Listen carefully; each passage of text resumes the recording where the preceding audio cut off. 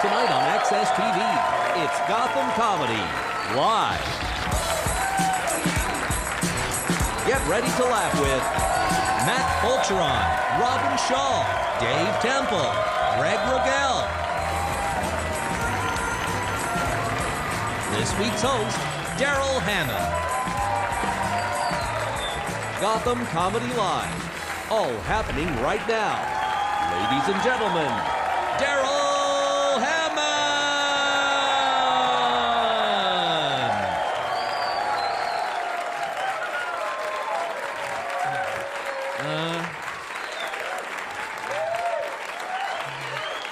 Tell him to be quiet. The guy's yelling at me over there. Say this shit over here. Hi, everyone. Welcome to Gotham Comedy Live, Access TV. It's a live show. There are about a million people watching, listening to you right now, and me live. So here comes some filthy shit.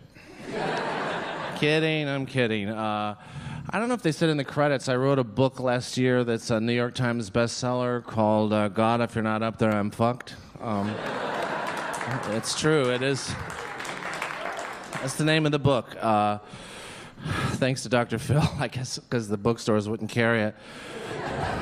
But now that I have a million people watching me live, I think I'd like to talk about it. Um, of course, you know, the first part of the book is about absinthe. Does anyone know what absinthe is? Yeah?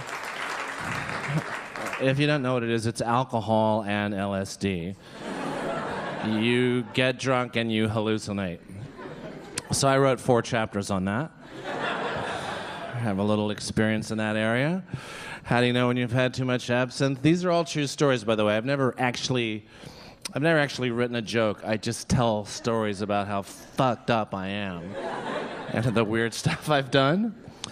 How do you know you've had too much absinthe? Uh, when you're being tapped on the shoulder by a cop reminding you you're in the middle of a conversation? when you're at a donkey show in Tijuana and you're facing the audience? These are all autobiographical. But the real way to know when you've had too much absinthe, when you're having such a hard time finding your way home, you have to park across the street from Domino's, order a pizza to your house, and then follow their truck. You know you've had too much absinthe to drink. It's too much drinking.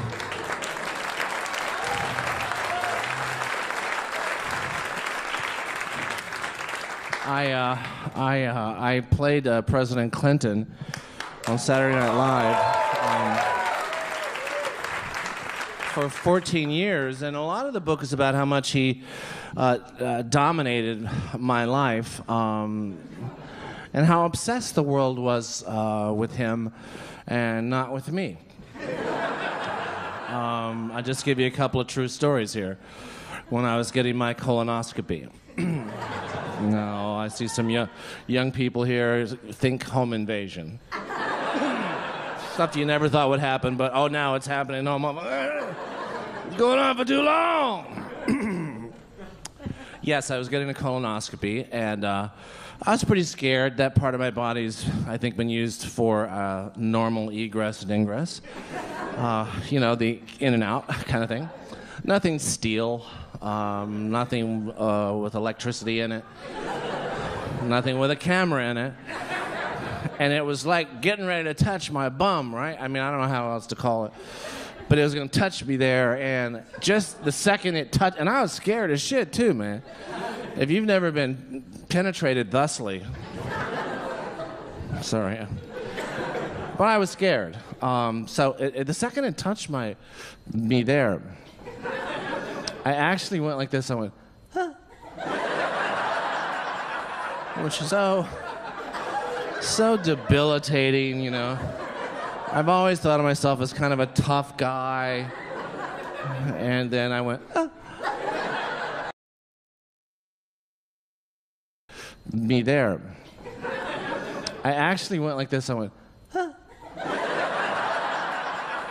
Which is so, so debilitating, you know. I've always thought of myself as kind of a tough guy. And then I went, "Ah."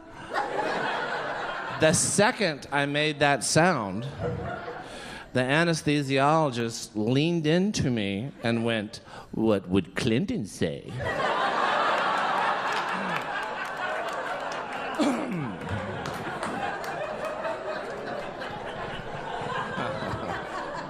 I said, he would say, What is a nice girl like you?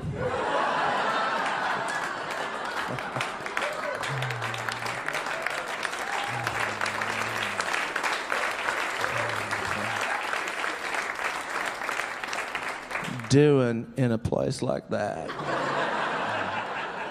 you know, it sucks being an average dude and playing this guy that chicks love. I mean, I, I mean, people that are, go crazy over this guy. And I, will give you another true, absolutely true story. I was at Iowa State University and uh, did a show. And after the show, a co-ed followed me to my car and said exactly like this, "Mr. Hammond." I will so show you my breasts if you talk like President Clinton for me. And I had never heard anyone talk like that. So I said, Young lady, could you please say that again? Just like she said, I will so show you my breasts if you will talk like Bill Clinton for me. I said, Oh God. I said, Young lady, that's so sick. That is so sick.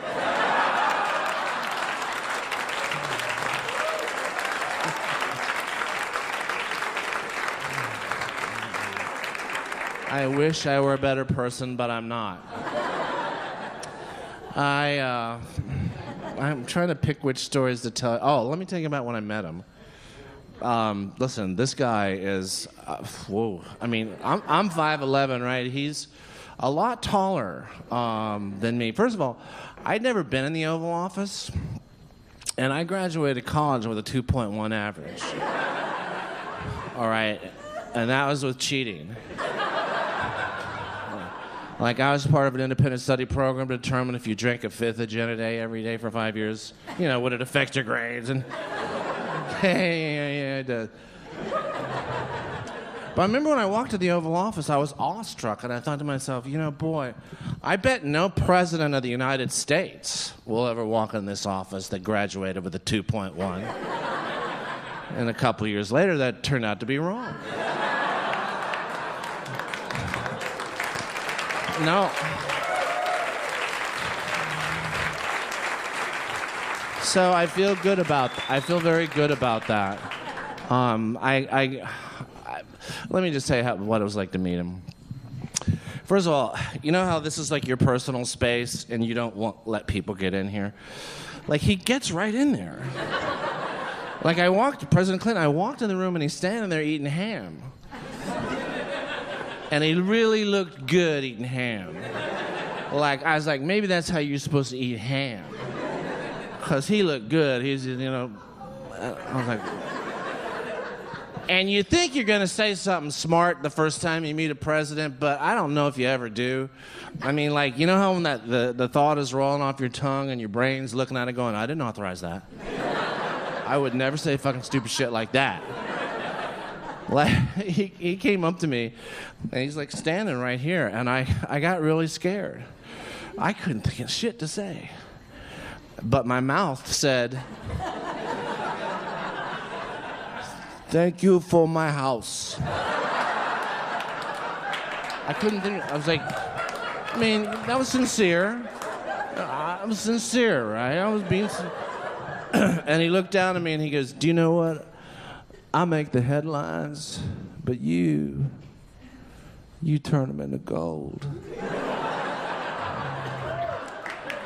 and I almost said, "All right, I'll fuck you," um, because no one has ever talked to me like that in my whole life. No one has ever talked to me like that before. I'm not gay, but I don't pretty sure you don't have to be for this. Um, yeah, welcome to New York City for those of you from out of town. I, um, It's quite a town. I uh, flew in here today from New Orleans, where I live now, yeah. And, uh, so, you know, something always happens. You know, the airports are so sophisticated at security now. I mean, they're so good at it. I mean, the, the changes they've made since 9 11, the random foot check, the butt check. Here's my dick. Here's my ass. Okay, I thought that was all brilliant.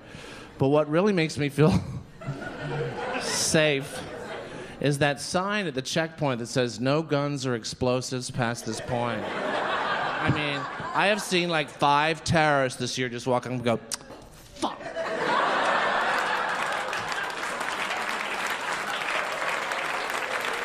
No, no, no. Get, get back in the van, get back in the van. There is a sign now. All right, everybody ready to start?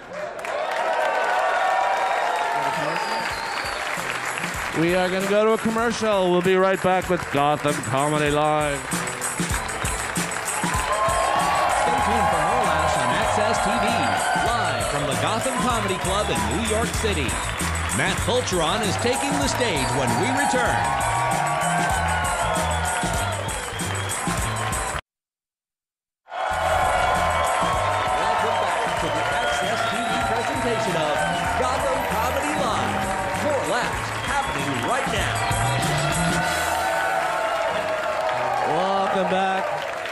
Gotham Comedy Live on Access TV. First comic tonight, very funny gentleman who has been seen on Comedy Central presents. Here's Matt Fulchiron.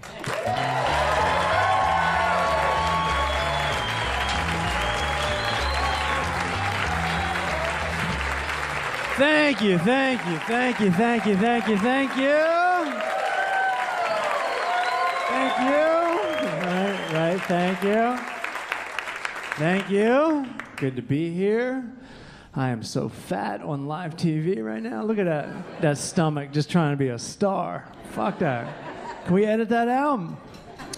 I am uh, I'm visiting from Southern California, and uh, yeah, it's exciting. It's exciting. I miss my I miss my medical marijuana. Uh, we're going through the phase in history in California right now where we're pretending like marijuana is medicine. Uh, we wink at each other when we buy it. We pretend like it's healthy. Is it healthy? Yeah. It's a lot of energy for pot smokers, but I'll take it. I just got up here. It might be healthy. Maybe, well, maybe if you eat it. Is anything you smoke ever good for you? Is your doctor ever like, I want you to go home, I want you to get some lettuce, get some chives, get some spinach, dry it out, roll it up in a piece of paper?